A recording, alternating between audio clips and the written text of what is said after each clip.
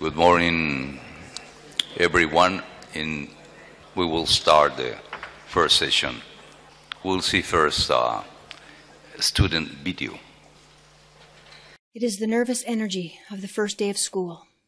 Uncertain faces, the shifting of feet, awkward smiles, hesitant questions. It isn't your typical classroom, though, and the lessons we learn here today are not the lessons found in a textbook. Today, we will learn how to listen to one another. We will learn how to cross the invisible barriers created by our siloed educations. We will be asked to challenge the unspoken assumptions and unquestioned biases passed on by the individual cultures fostered by our programs. This will not be easy. It will require us to be vulnerable, which isn't easy in the best of circumstances but made more difficult in a room full of strangers carrying the unvoiced expectations of their professions. But the rewards are worth it. If we learn the lessons well, we will impact humanity. We will change individually and collectively, making the healthcare world a better place for every patient we come in contact with. We will make a difference. And this is why I teach. This is why I am here because I remember having my voice taken away. I remember being berated in front of colleagues and patients. No more. It is time for voice. Not just any voice, a caring voice. If I know you, why you think the way you do, what has influenced your way of doing things, I will come to know me and why I do the things I do.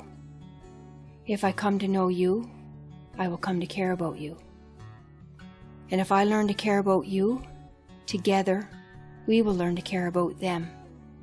Them, him, her, the patient, the reason we are all here.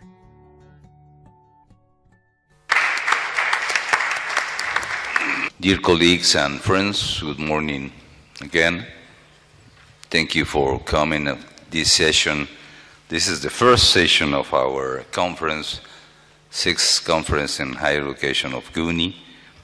And um, we have to start. Uh, Professor Sulfi, Dzulkifli, Dzulkifli, Dzulkifli Razak. He is president of International um, Association of Universities held in Paris and Vice Chancellor of Albukhary in Malaysia. Uh, Professor Robert Hollister, he is uh, the director of um, Talloires, Talloires Network and professor of Tufts University in United States and Shirley Walters from South Africa, University of Western Cape in South Africa, Director of Division for Lifelong Learning. So we will start with uh, Professor Dzulkifli Razak. Please take the floor, please. Thank you very much. A greeting of peace and a very good morning, uh, colleagues, friends. Thank you very much for having me here. Uh, to share the little experience we've got on social engagement, the one that we have done in, in, in my university uh, in Malaysia. It is going to be a tough deal because yesterday we had got a very excellent uh, session on Let's Imagine, and therefore I thought today we will continue with that mood of Let's Imagine things and how we can discuss the context of engagement uh, in terms of social change. Why engagement for social change? Uh, to me, I think it is quite easy to understand uh, if you look at the state of humanity today. Rajesh, Christina, and Budd made a very good case of the state of the world, and the state of humanity, I think, is no different, and we can imagine what it is like for most of us. 40% of the world population, which is uh, 60% of the world population, which is 4 billion, living on less than 3 US dollar a day, and that's the state of humanity that we have today. Um, this is not new, because barely 100 years ago, starting with World War I, World War II, uh, we have seen how humanity fails. And just within the last decade, we see how humanity has failed yet again. Despite the many universities, despite the expanding knowledge, despite the advanced technology we've got, I think we have not been able to cope up and lift up to the expectations of humanity. Where have we gone wrong? Uh, therefore, we are now at what I would say a kind of a tipping point globally. We have not done well uh, economically speaking. The financial crisis is right in front of our eyes, and everybody is now very aware of it. Ecologically, we are not also doing tremendously well. There's also another crisis ahead of us. The war that we have managed to stop after the Second World War now has manifested in different, in different facets, in different ways. And of course, education continue to lag behind where investment has gone elsewhere instead of education per se. So what do we do to move away from the tipping point? And I think just to put the, the, the, the the, point right. When we talk about poverty, it is not only the developing world. There is something that I got from the net. Nearly one in four US kids live in poverty, and there is also a cry for a kind of freedom for poverty. In fact, not only developing countries, elsewhere. In developing countries, I think there are other issues that we need to contend with as far as poverty is concerned.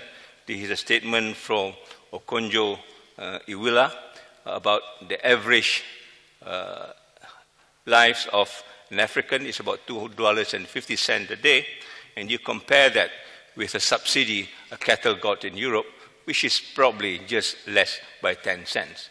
I think this kind of statistics does not make sense. This kind of statistics needs to be challenged. They must be fundamentally wrong somewhere in the system, and education is supposed to put this right. Issue now is we move ahead, what do we do? And I think if you go on to imagine what is possible, I think these are some of the elements that I think which is important in trying to imagine what the future of educations look like. We need to look for alternatives. We have done that yesterday in a very exciting way. Use our imagination not only to talk about what is possible in the future, but more importantly, how to make it happen and how to interconnect things together. How to create again the sense of belonging to education, the sense of being, to make sure it is sustainable, and to make sure also that humanity becomes the agenda in higher education, given the many global goals that we've got. Millennium, Millennium Development Goal being one, which will end in 2015, will tell us exactly where we are at that particular point in time. Education for sustainable development, which will end in 2014, and also education for all. These probably are barometers as to how we perform in higher education and how do we deliver some of this global expectation. Nevertheless, I think these are the ingredients that I think that we need to work across because education actually delivers many of this in terms of trying to reach out for humanity as a whole. I'm, I'm quite sure this is not new. I think if you talk to our forefathers, they talk about interconnectedness, although the world then wasn't connected, but the community was very well connected. The community was very well aligned. The community has a sense of belonging. The committees know the sense of being. The committee has its own engagement process. The committee has its own future. Where have this been put in the context of education, higher education in particular? So my sense on this is basically we are not going in doing something actually new.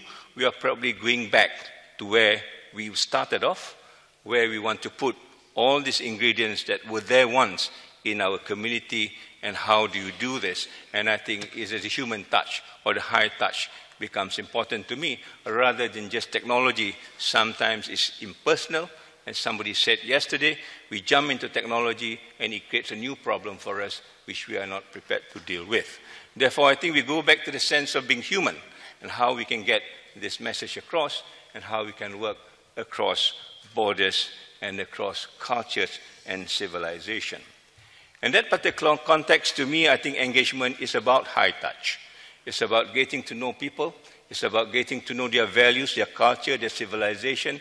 It's about creating a kind of a holistic a sort of approach to what humanity is all about. And this is where I think we are going to demonstrate, at least from my university, how we attempt to do this. So all the elements that I talked to you about has been jumbled and now being, you know, uh, put everywhere else need to be realigned again. How can we make the processes aligned? How can we make education being part and parcel of this alignment process, beginning with the experience of belonging and being and trying to interconnect with other people around the world. This whole idea of globalization that it needs to be uh, revisited and make sure that the issue of humanity and the future of humanity becomes an essence in all this, in all this uh, uh, quest for the new future, uh, as it were. It has to do with passion. I think this is one element that has been missing in many education. Education is very utilitarian now. Education is about producing stuff and selling stuff. Even innovation is looked upon as this kind of technology that do not talk about social uh, implications as far as, uh, as, far as uh, innovation is concerned. Here in my university, we are trying to put this concept of being passionate about education by creating what we call a competency framework, and I will deal with this uh, in the next few slides. Yeah? I'm going to share with you the little that we have done in, in our university for the last two years or so in trying to conceptualize what is social engagement within the context of this university, uh, the Albukhary International University, which is a very recent university, two years old, but it has a different mission. The mission is that it is a university that is pro-poor. Students are only admitted to the university if they are below the poverty line, and we will take them on a no fee basis. So we have got now 50 countries in this university and trying to, kind, to create a kind of a global campus where people can share values very much like what I've described to you. I call it uniquely AIU because there are three elements I think that we are dealing with in almost equal proportion.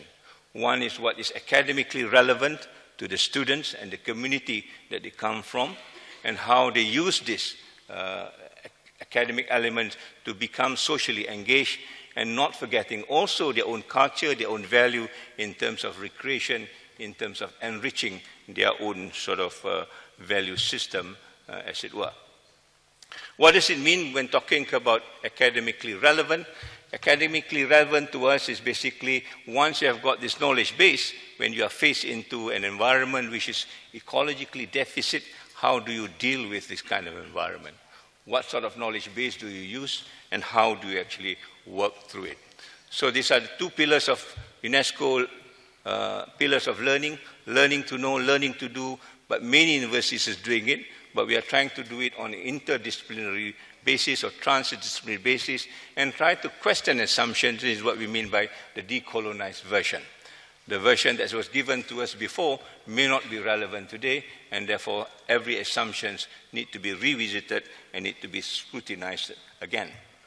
When we talk about socially engaged, we are very, very aware that the question of poverty it becomes an ubiquitous sort of uh, issue, and therefore we want to impart not only education, but education with passion, education with, with a heart, education about caring and giving, education about sharing uh, the knowledge base that you've got. We want to talk about the human being rather than just the human capital. I think this is a word that has been used in a lot of our uh, documents human capital, and sometimes I wonder where the human beings are when we talk just about human capital. It has to be transformative, it has to be sustainable, and it has to be ethical, which is now one of the bigger issues. So it is about living together, how do people of different culture using this as a contact to live together and start to share some of this element. When we talk about recreationally enriching, we are very mindful that technology is very pervasive, but some of this technology is very dehumanizing in certain contexts. And therefore, we need to be very mindful of our own essence as a human being, whether we actually can control technology rather than technology controlling you. This is about the question of trust, the question of values. There's an article that talks about once you've got technology, the level of trust must also be as high as the use of technology. Otherwise, technology can be very deceiving. Where do we put this in, in the context of higher education and how we actually play this out in the system, uh, as it were? Very quickly, I think I'm, i do not have time, but these are some of the elements that we are doing in the context of academically relevance, learning to do, learning to know. We embed on it is what we call the social engagement dimension, where we actually use the materials, academically relevant, and translate it into learning to do in the context of social, social engagement. It is a three-year compulsory course within, within the university that runs parallel with the academic program. If you fail this particular social engagement, you will fail the whole course, and therefore it has to have a kind of, a core element. It is not something that we do on the sideline. It is not something that we do ad hocly, but it is well embedded as a core experience within the university. Recreationally uh, enriching is to use the the, the, the, the, investment of 50 nations within our, within, our, within our university. How do we share some of this value system and how do we actually connect it as part and parcel of social engagement within the university? In some of the work that we do in social engagement, we find that the students from other universities say, this is not sufficient for my country. I need something else that needs to be put in place, and therefore the fine-tuning of this whole process continues on, on and on.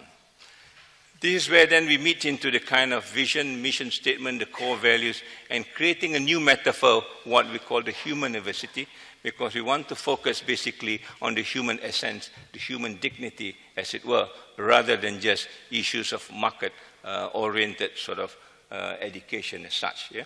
The word sejahtera there is basically a very colloquial word that means well-being that cuts across spiritual, physical, intellectual, cultural, and also social uh, sort of dimension. It's a very holistic concept that needs to be inbuilt within education as such. Yeah? So engaging the community now is, is ongoing within the university, involving 300 students from 50 nations across the world. They are now working on, on at 30 sites over a three-year program. We have got 90 assessors, not only academicians, but also administrators working along with them. And this is a process that actually they interact with one another. And as I mentioned, it is a three-year program that they will graduate at the end of the day.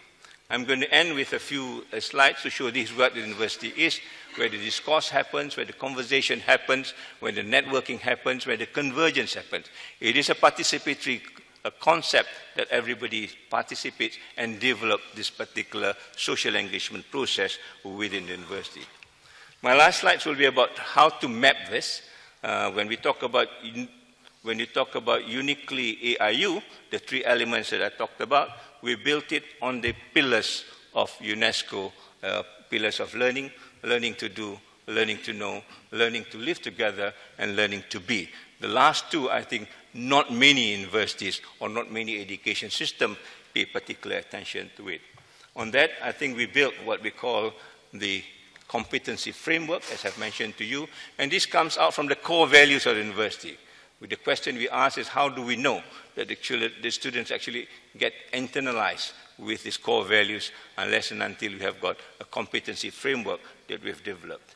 And this competency framework, at the end of the day, will sort of jived into the four pillars of learning of UNESCO. These are some of the things just to show you the framework in terms of competency, what are the domains that we want to do. These are the assessments that we, we have now uh, carried on. And these are the scoring systems that have been there. And last but not least, I think we will create an intervention system. At the end of the day, when the student leaves the university, this whole process still continue with them as an alumni of the university, and we will try to follow through in terms of social engagement wherever they are. Last but not least, they will not only have academic content, but they will also have this behavioral content with them in the competencies that, that we have developed with you. What I want to end with, end with this slide, what do we imagine at the end of the day when we do this at Albukhary International University? We talk about the human elements as one, we also recognize how knowledge has been created and disseminated, curiosity-based, uh, problem-based. Yeah? But at the end of the day, I think it is about how do we expand the boundaries of knowledge into something which is transformative as being indicated in this particular uh, conference. How do we map the knowledge that we have got against the state of humanity around the world, which is characterized by our own community and our own home as a kind the lowest common denominator. How do we interrogate the reality using engagement as a process, looking at new possibility that will eventually transform the whole process of education and hopefully that engagement process will widen or broaden the scope or the spheres of education by co-creating a new knowledge sphere, as it were. It, at the end, it means that we need to innovate the knowledge structure itself into something which is more compatible to social engagement, and this is what we attempt to do in our university in putting uh, social engagement as part of social change. Thank you very much.